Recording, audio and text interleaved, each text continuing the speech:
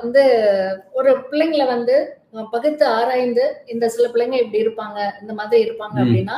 அதுக்கு தகுந்த மாதிரி ஒரு மூணு ரகமா பிள்ளைங்களை நாங்க. பிரிக்கிறோம் அதுல வந்து நல்லா படிக்கிறவங்க அப்படிங்கிறப்போ நல்ல எல்லா விஷயத்துலயும் அவங்க. கெட்டிக்காரங்களா இருக்காங்க அந்த கீ லெவல்ல உள்ளவங்கள எப்படி தட்டி கொண்டுட்டு வந்து நம்ம வந்து செதுக்கி எடுக்கிறது குழந்தைங்கள ஒரு நல்ல ஆசிரியனுடைய அடிப்படை பண்பு நன்றாக படிக்கின்ற பிள்ளைகளை விட படிக்காத பிள்ளைகளிடத்திலே அதிக அக்கறை காட்டுவதுதான் ஆசிரியருடைய அடிப்படை பண்பு என்பதில் நான் தெளிவாக இருப்போம் ஏன் ஒரு இடத்துல சொல்றான் வெட்டனவை மெத்தனவை வெல்லாவாம் வேளத்தில் பட்டுருவும் கோல் பஞ்சில் பாயாது நெட்டிருப்பு பாறைக்கு நெக்கு விட பாறை பசுமரத்து நெ- வேருக்கு நெக்கு விடும்.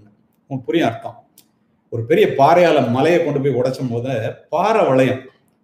ஆனா ஒரு பசு மரத்தினுடைய வேர் வந்து அந்த மலை கல் அவ்வளவு கடினமாக இருக்கிற கற்களை வந்து துளைத்து கொண்டு உள்ள போகும்.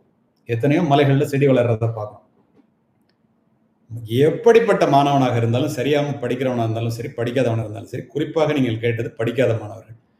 அவங்கள அழைச்சு இந்த படிப்பினுடைய அருமையையும் வாழ்க்கை எதிர்காலத்தினுடைய முக்கியத்துவத்தையும் இதை எப்படி படிக்கணுங்கிறத அன்பா ஆதரவா அவனோட உட்கார்ந்து பேசினா நூற்றுக்கு தொண்ணூத்தொன்பது பேர் நிச்சயமாக மாறுவார்கள் என்பது நான் அறிந்த உண்மை.